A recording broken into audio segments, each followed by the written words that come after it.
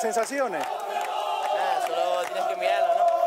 La verdad que una sensación muy bonita, después de, todo lo que hemos vivido durante la temporada, agradecer sobre todo a la afición, a, todos los compañeros que se quedan siempre los fines de semana fuera, ¿no? Que todos somos una piña y nada, ahora intentar disfrutar, afrontar el, el con, con optimismo, intentar sacar una buena rentabilidad sea afuera para celebrarlo aquí la vuelta con la afición en casa. Y nada más, ahora solo queda disfrutar con,